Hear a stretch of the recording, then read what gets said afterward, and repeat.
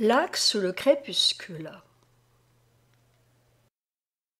Tout se pâme ici, feuilles, épis, corympes et grappes. Les vénéneuses baies sous les branches appendent. Les frondaisons touffues s'étiolent dans l'air tiède. Les putrides amas s'évanouissent en miasmes. La bisefleur d'arôme en sa corolle intime découvre son pistil au dangereux parfum. Relante avec senteur en symphonie muette, nous enivre l'essence d'horreur et volupté. Voici qu'un arbrisseau vers l'eau diaphane penche, tel Narcisse adorant son image liquide.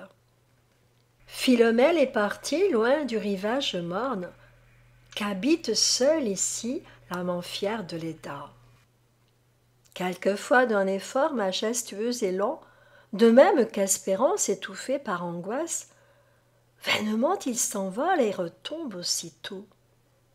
La brume à la vague offre un baiser délétère. Suivant chaque saison de sa grise paupière, la nostalgique lune ainsi qu'un œil lassé recouvre ou bien découvre un iris lactescent. Le temps silencieux règne en absolu despote. Nul jamais ne pourrait, semble-t-il, en ces lieux, troubler ce lac de plomb, ces rameaux de charbon.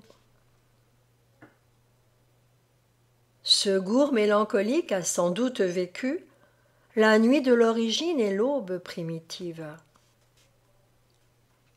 Sous le mystérieux flot sans doute s'abîma le château merveilleux du Fabre Ilmarinen. Et sans doute Ophélie s'est-elle ici noyée.